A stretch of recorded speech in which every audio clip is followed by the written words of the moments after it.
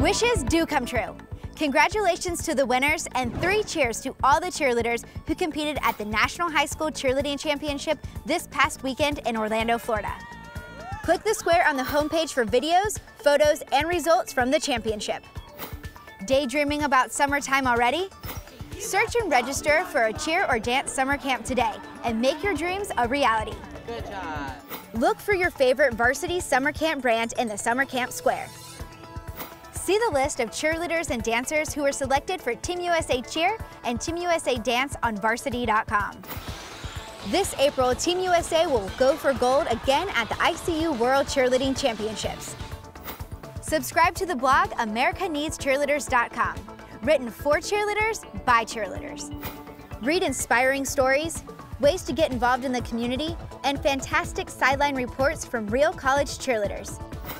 Thanks for visiting varsity.com for the latest updates in cheerleading and dance news.